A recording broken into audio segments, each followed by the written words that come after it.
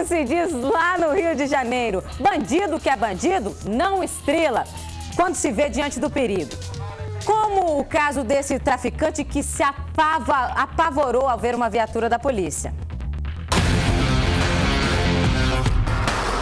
Eu estava em patrulhamento aqui pela DF-290, ali próximo da Ponte Alta, quando esse veículo Fiat Uno passou pela gente ele teve uma reação meio estranha quando viu a viatura, ele deu uma freada brusca. Aí a gente resolveu averiguar melhor qual era a situação dele e deu para ver que tinha um volume muito grande no banco de trás, coberto com um pano preto.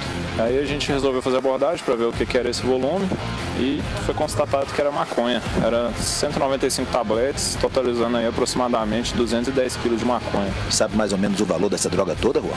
A gente imagina aí que seja aproximadamente aí 210 mil reais. O rapazinho, ele já tem alguma passagem pela polícia? Não, por enquanto ali não foi constatado nenhuma passagem no nome dele não.